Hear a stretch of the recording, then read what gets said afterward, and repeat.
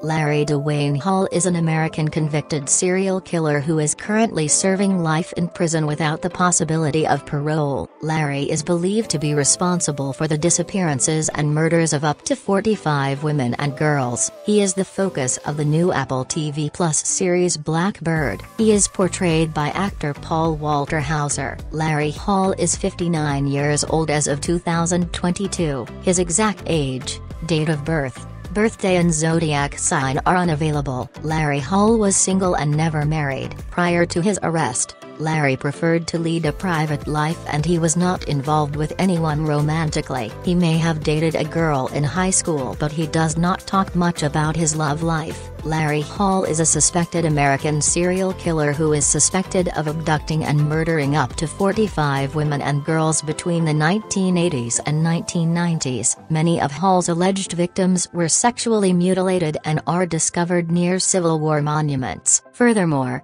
Many of his alleged victims are still missing or unidentified. He is currently incarcerated in a federal prison in North Carolina for the kidnapping and murder of Jessica Roach in 1993. However, he has not been charged with any other murders besides Roach's. Larry Hall is currently serving his sentence of life imprisonment without parole. Initially, he was as sent to a United States penitentiary, USP Marion, in Williamson County. Illinois, U.S. but is currently serving a life sentence at a medium-security federal prison in Butner, North Carolina. Larry Hall is the focus of the 2012 documentary To Catch a Serial Killer. To Catch a Killer is an unusual documentary about one of the lesser-known monsters who roamed the streets of modern-day America. Larry Hall drove around in his van abducting and murdering young women. It's unclear how many victims he claimed he'd confessed to a crime, then retract it claiming he was just explaining a dream. Larry Hall and James Keene are the focus of the new Apple TV Plus TV show Black Bird. The upcoming American crime drama limited series is based on the 2010 autobiographical novel In With the Devil,